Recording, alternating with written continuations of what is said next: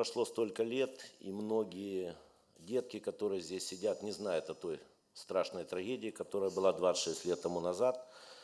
Кстати, игроки, которые сегодня пришли, вот мы разговаривали перед вас, ваш, нашей с вами встречи. Эта встреча очень волнительная для наших игроков. Если вы обратите внимание, сидят все украинцы, которые защищают цвета киевского «Динамо».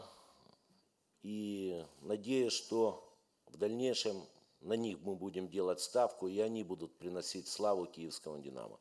Но дело в том, только Артем Милевский, по-моему, по своей дате рождения, 26 э, лет тому назад, родился ты уже, Артем, когда произошла эта...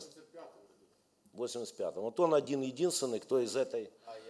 Алиев молодой, он не помнит. Он, он, же, он, же, он же родился не здесь, он родился в России, правильно? Артем родился в Беларуси, но очень э, так рядом. И, наверное, тоже это ощутил. Но э, сегодня, э, как как-то не, не хотелось бы шутить, но все равно мы должны с оптимизмом смотреть в будущее. Мы должны понимать, что э, наши сердца должны биться в унисон.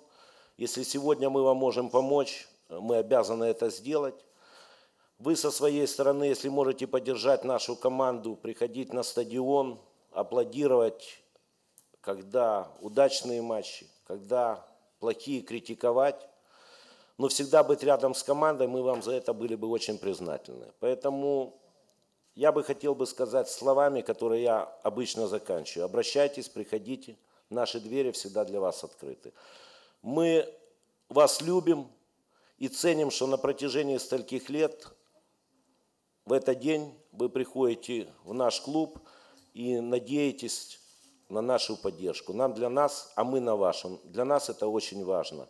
И мы хотели бы, чтобы ваши детки росли здоровыми, а мы чем можем им помочь? Мы готовы это делать. Спасибо вам за то, что вы есть, и спасибо за то, что в этот грустный день мы встречаемся всегда и не откладываем, потому что мы заняты или вы заняты, мы всегда встречаемся в этот день. Спасибо вам. И тем людям, которые мы должны особо, особо мне хотелось бы поблагодарить тех людей, которые в эти страшные дни,